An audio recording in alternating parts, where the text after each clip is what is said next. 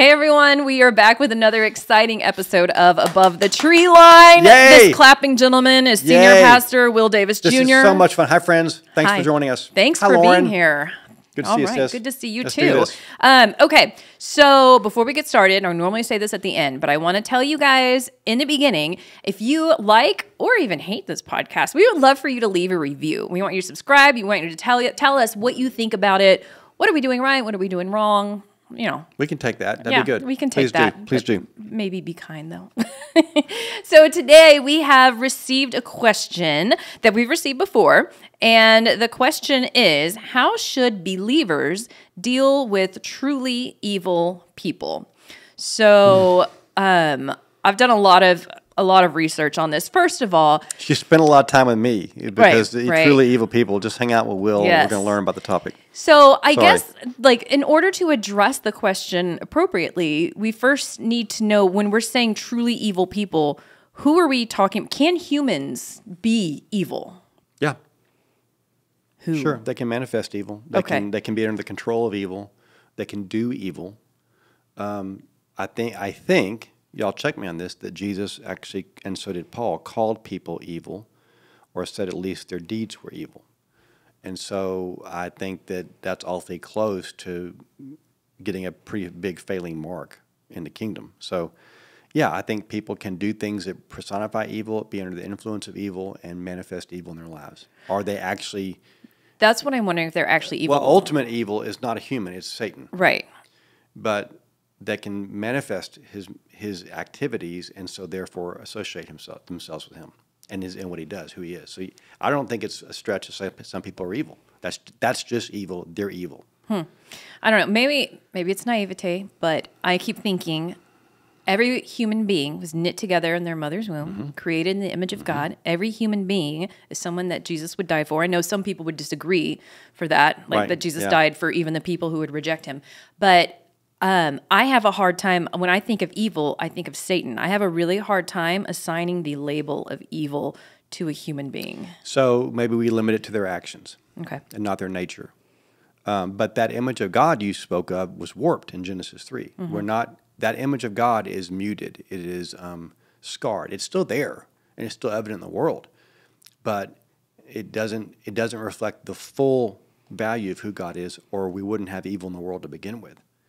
So our, the fact that a human can hurt another human the way we do, and it doesn't exist in the animal kingdom, hurting people for pleasure, tells me that there's something going on that's bigger than just us. Mm-hmm. It's a satanic battle, and we have the ability to hurt people, hurt each other more than anything else in the universe. That's evil. That mm-hmm. reflects evil, and that that comes to that's born into us Yeah. when we're born. So the image of God. I agree with your Psalm 39, 139 quote, but it's also been marred because of sin. So if if we're talking about people with evil actions, that can be believers and non-believers. Yes, Because Christ followers can, can do evil, Yes, things. they can. Okay, so the question is interesting because it says, How should believers deal with truly evil people? Which implies that believers themselves are not evil. Hopefully they're not, but they we have our moments. So let's define evil. Evil is not being having a bad day. Um, evil is wanting to do evil, wanting to do wrong for wrong's sake. It's it's really wishing pain on others and doing your best to create it. It's wanting to make people suffer. It's wanting to discredit the name and the glory of God. It's all those things. So it's not having a bad day and cutting somebody off on 183, which I've done. And then, like, don't honk at me. I, don't you know who I am? Mm. That's having a bad day. That's being a jerk. That's Genesis 3.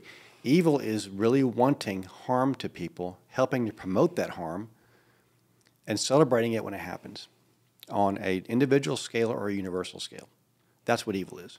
Okay, this is just, I'm going to go down a short rabbit trail for just We're a only moment. five minutes in, and the rabbit trail is here. Here we go. Now I'm thinking about I'm thinking about these people. I love to follow murder cases. Um, I follow. I watch court scenes, like not because I'm gonna murder anybody or anything like that. But You're it's, planning- you're no, planning. it's fascinating. Especially like over the years, there have been these really big names in the media where it's like they will just stream their whole Hmm. court hearings, um, and people will often point to the killer and be like, "That's an evil person," but I'm also like, are they an evil? If it was a crime of passion, are they truly an evil person, or do they just get caught up in a moment of anger um, and lash out? That doesn't make them evil, though, does it?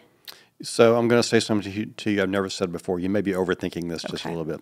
Right. No, it could. I don't know. I think that that um, there's actually different words for anger and for passion in Scripture, and one is an abiding, residing anger that's there all the time, and one is um, it's almost the word for se- sexual passion. It's like this flush of energy that takes the gets the best of you, and God has more of the abiding brooding kind of anger than he does I lose control of myself and I blast somebody.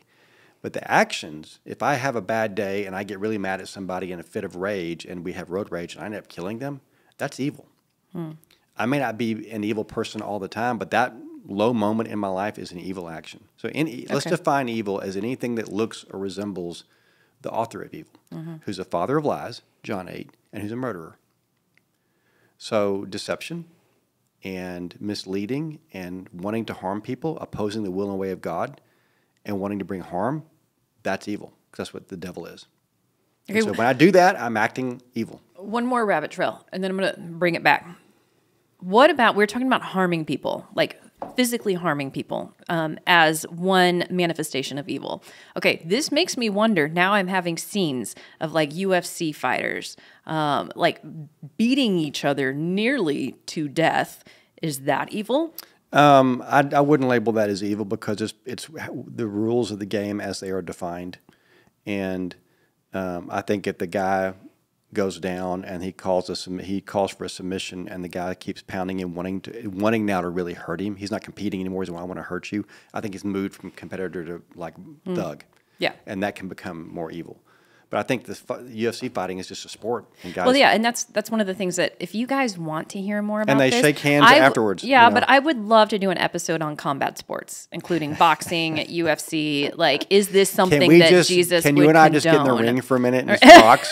That'd be more. That would get more views. Okay, so bringing us As back to this question. on my rear end. So I will say this, and maybe this is incorrect, but just based on what I've heard in various like Christian communities, I think that sometimes maybe we're too quick to point our finger at somebody and call them evil because I see people doing this, especially in a presidential election year. Yeah. People pointing Boy, at these think? candidates and saying you are evil and then christians like god forbid the person they think is evil gets elected christians are like are we supposed to do what this truly evil person is telling us to do just because they got elected to office so I would say your assessment of them being evil is probably a little bit off. I would say you probably don't like who they are or what they do.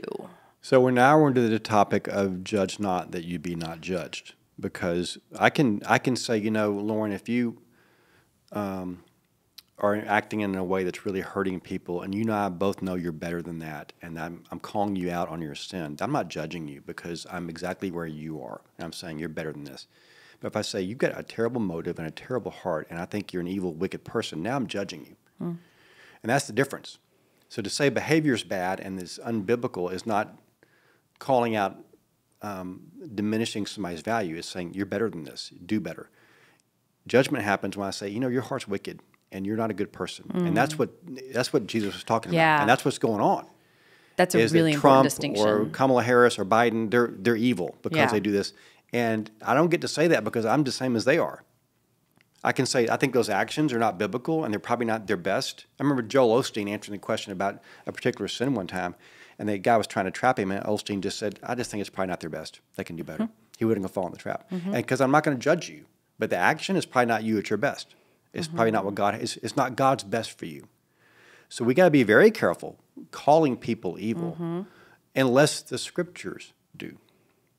okay. I think we have the right to stand where scriptures stand, but that place is it's like divorce. The permission is really narrow. Mm-hmm. We can't go around throwing the word evil all the time because most most time the Bible doesn't let us do it. So what do you do with Hitler, yeah, no, or that's what- Mussolini, or Osama bin Laden. Idi Amin, all those guys? Mm-hmm. At least their actions were evil. Yeah.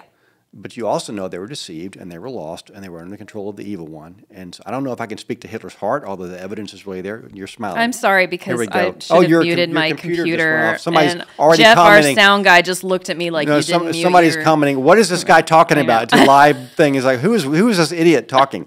Shut him up. So yeah, so what do we do with those? It's your those, husband with a grocery list. Bring the milk home, please, and some right, eggs. Right. No, what do we do with Osama bin Laden and Hitler? And I mean, uh, they're the list. I mean, in my Well, lifetime, it, it was, um, oh my gosh, having a senior moment. You are, yeah, and you're- the statue that fell. Yeah, What was his name? Saddam Hussein. Yes. Okay. As George Bush called him, Saddam. Saddam. Saddam. Yeah, what do you we know, do? Saddam is a problem. Like, do we? I mean, uh, like the churchy answer is pray for them, right? It's not the churchy answer; it's the answer. Oh, okay. pray for them. Pray for your enemies. Pray for those who persecute you, Yeah. because you could be one of them. So yeah, if they're living, then you pray that God will intervene and humble them. And I've prayed for people around the world that are pretty um, evil in how they behave. Mm-hmm. Somebody's got to. Okay. Um, yeah, there's. You need to pray for people who do wrong. If they're past, which many of them currently are, are there's still evil guys in the world, things guys who do evil. But they're like Saddam. You know, he's gone. Should we celebrate their death? No, Is that because, evil because they probably just entered into the into eternity Right. unprepared. So I don't think you celebrate that no, I don't think so. because because it is the will of the Lord for none to perish but all to come to life. So if, Mm-hmm. if I can't celebrate something God doesn't want to happen. So if Saddam die, Saddam Hussein dies or is executed or whatever without the, Jesus in his life, that's a loss. Right. Because Jesus died for that man. Now we may go, well, I bet good riddance. Well, that's Right. not the kingdom. That's not really the way out of me. Jesus. So I have a verse here from Ezekiel, eighteen twenty three. I don't spend a lot of time in Ezekiel, I was say, but I came you. across It's- this you one. found the Old Testament. Um, so as surely as I live, declares the Lord, I take no pleasure Yeah, in the death of the wicked, but rather that they turn from their ways and live. Yeah. Should we even be in the practice of killing evil people if one of the commandments is thou shalt not murder? Well, you just opened up a discussion on death penalty, which I think we've done a podcast. We have on. done a, podcast and, on it. and the Bible gives authority to governments to take life in war or as, as capital punishment. I can't take somebody's life, but my government can, and and so with biblical permission because it's a form of reining in terror in a culture. Hmm. So I, I can't go do that. I can't cast judgment on somebody and take their life, but the governments have given, been given that right as a way of pre- preserving and protecting. There's some things that will cost you your life on the planet, and that's harsh. But it, but it's like the, the governments have. If they can't, then you're going to have chaos in your culture. okay, so Well, we are all over the map. on this one. juxtapose well i mean there's so much we only have 20 minutes there's so much to cover in this juxtapose the ezekiel verse with proverbs 11:10 when the righteous prosper the city rejoices. When the wicked perish there are shouts of joy. Mm-hmm. So ezekiel we don't take pleasure in the death of the wicked but here we are in proverbs that there's shouts of joy when they perish. So context: Solomon's quoting that as a king, and they would see they would go take out the Assyrians or take out their enemies when David killed Goliath, mm-hmm. and they'd been absolutely terrorizing mm-hmm. um, is the Israelites for forty days and wreaking havoc. They're their arch enemies, and David took out Goliath in one fell swoop. You don't think they cheered? but should they have I, they were, I, I don't know. I'm not going to comment. I think that they were cheering over, oh my God, oh my gosh, God, look what you just did. Yay, our enemies have been vanquished. Um, I think the bigger picture is you don't celebrate when somebody evil gets hurt, but in that context, I can see why Israel would have cheered. Because you see this a lot, again, back to the courtrooms, when um, in the sentencing of the Yeah. the person who has been Yeah. convicted, the families are sitting there and they're they are just waiting for like, okay, is it going to be the death penalty? Is it going to be life in prison? We want a guilty verdict on this person And the who harshest did this penalty thing. possible. What I yes. Um, and I do. I get that get that. because I would be doing the exact same thing. But then you do have to question is this right? Some people say it's justice. It is justice. Um, the justice has been given. So, so, justice, another topic, is never as a Christian something you seek for yourself. It's always something you seek for others. Hmm. You let God. This is interesting. You let God bring justice for you, and you try to get justice for who, others who cannot get it for themselves. So I don't go punish people. That's not the kind of justice I'm talking about. If I've been wronged, I let Paul said, don't sue other Christians. Just take the hit and let God even it out. Okay? Mm-hmm. So I'm not going to seek justice for me. But if you're being wronged and you don't have the ability to defend yourself, I'm called to step in and defend you. That's justice. Okay. That's And interesting. So, so, but so am I going to am I going to celebrate when a criminal is on death row and is guilty and has spent 20 years there and they get executed? Probably not. Mm-hmm. It's justice and it's probably right, but I'm not going to go celebrate the way that guy's life Right. ended and what he did that got him there. right. I'm not going to celebrate No, that. I agree. I don't Okay. know that. I don't know that. Wait, say that part again. I agree. Wow. I think you're right. Look at that. Will. I think you're right. Yeah, Ooh, I know. I'm having a moment. right?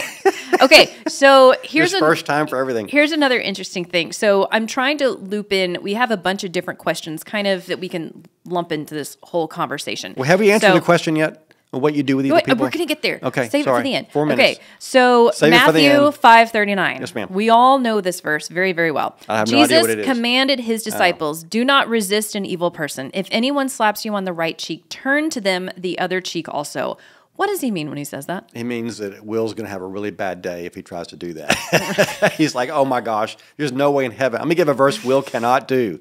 Okay? If somebody slaps you on the right cheek, turn to them the other cheek also. So, like, hit me, baby, one more time. Oh my gosh. How did you ever work Britney into this? First time. Podcast? First time that, for doesn't that just, we just got an NC 17 rating. Because I think that has meaning. Hit me, baby, one more time. I think baby has has overt meanings that you don't want your kids. I think it's to. like poker. It's like, hit me. Thank you. We'll go Anyway. with that. But yeah, so does that truly mean that you just allow yourself to get beat? It- by- I think it's a figure of speech, and although it's something he modeled when he was being executed, they beat the fool out of him, and he didn't call down angels to destroy him, and he could have. So he modeled that for us. I think the kingdom principle is you check your rights at the door, and if God's calling you to take a hit for him and for others, you do so. And if it's two, it's two. Now, if somebody's in my house at 2 a.m. and they're uninvited, I'm not turning the other cheek. And I wrestled with that because you don't resist an evil person. Well, I'm going to go public on the record. If the Yeah. evil person's in my house at 2 a.m., I'm going to resist them. So I struggle with that. But I think the principle is I'm, o- I've got to be okay being second or being last in the kingdom. And I don't, I got to be okay, in the words of Oswald Chambers, being a doormat in the kingdom. Uh, You know what? My rights, this is where we're all about our rights Right. and what I'm entitled to. And I think the scripture calls us slaves to Jesus. And my rights really don't matter anymore. I'm, I'm His. And if He wants to burn me out in some obscure place and no one ever knows my name, that's His privilege. He gets to do that. I belong to Him. So I think the, you know, that's I think that's what the turn the other cheek, go the second mile thing is. You're second, you're last, everybody else is first. And to the degree that you can live that way, you should, because it's what Jesus did. He had time for people. He had prayed for his executioners. He did turn the other cheek. Hmm. He didn't say a word. And so I think that's in the context of the Beatitudes and the Sermon on the Mount, it's a kingdom lifestyle. We're not here to assert ourselves. So one ACF Wow, or ouch. Buzzkill. yeah, Sorry. one ACFer that you know very well has asked me to address this on a podcast regarding this verse specifically. So back in Jesus's day, um, if someone was to slap you on the right cheek, they're backhanding you with their right hand. Okay. Um, and then, and that's like the sign of like, I'm higher than you, I'm backhanding you. And then one person says, but if they were to slap you on the left cheek, they would have to slap you open handed, which is a sign that they're an equal. Have you heard that? Never heard that. Okay. Well, we can take this up with this ACFer, but it was basically not saying like backhand me again. It was like there's a, a theory that they're saying now slap me like I'm an equal if I turn my other cheek to you. Wow. Be So- fun to research that. I Yeah, have no idea. interesting. Okay, Yeah. so truly evil people. In the if you are in the presence of a person who you believe to be under an evil influence, how are you supposed to react to them, treat them? If I'm in the presence of someone I think is truly evil, I'm going to leave. Okay. I'm not going to try to. I, Susan and I were in New Orleans curiously for a Southern Baptist convention Hmm. a lifetime ago. And we walked into a store and we knew immediately that place was evil. We could feel it in the room. It was it was an incense shop or something. We walked in and it was like, okay, there's something here. We left immediately. Mm-hmm. I don't feel. Um, I also don't think the soil of someone who's in the action of evil or living an evil lifestyle is particularly soft at that moment. And so I'm going to pray for them, and but I'm not going to try to hey win them to Jesus at that moment unless Right. I really feel led to. If I'm in the presence of evil, I'm going to leave. I'm not going to mess. I'm not going to expose myself to that. I'm not going to mess with it. I'm going to bless them and walk away, and leave them to God and pray for a better day. Um, when there's people in the world that are evil, and I think there are, or manifesting evil, I really do pray for them because they're probably acting that way for a reason. They're not born that way. They're born guilty, but they're not born mean. And you become mean mostly because of your story and unresolved hurt and pain. And so, or insecurity, like Hitler was probably the most insecure person in the mm-hmm. world. Dictators are typically insecure. So hypothetically, how should the Christian Germans have responded to Hitler while he was in office? You know, that's that's a tough question. I think. Well, I'm, I I got to be careful because there's a lot of Christian Americans that are letting some things happen on our watch, and we're not saying a word about it. So I got to be careful judging my German brothers and mm-hmm. sisters. If they were aware, the, like Dietrich Bonhoeffer went so far as to try to plan the, the ass- mm-hmm. assassination of Hitler. Mm-hmm. Would you do that? I mean, he's a Christian. He's a mm-hmm. disciple. We, we read books about Bonhoeffer and discipleship. He was part of the plot to kill Hitler and was executed for it. I mean, is that doing something? Yes, that's doing Yeah. something. Did you go that far? I don't know. Yeah. Um, I Do you think still respect them as an authority figure if there's a truly evil person that has a seat in government? Uh, we're supposed to pray for them and we're supposed to submit to them as long as it doesn't compromise our walk with Christ, as far as I can tell. Um, there was a point when the disciples said, "Look, you do what you do what you got to do, but we're going to honor Jesus over you when it comes to this. We're going to honor you as our leaders, but we're not going to not tell who Jesus is, even though you tell us to." And you, you, every every leader is there. God has allowed it, even bad ones. God has allowed their leadership, mm-hmm. and He can take them out at any time He wants to. Mm-hmm. It's like David said, "I won't touch God's anointed." Saul was Right. a bad leader; he was a king. Saul said, "I'm not touching him. I'm going to say anything." David said, "I'm not going to touch him because God can take him out." So we're supposed to pray for him and honor them as best we can honor them. Yeah.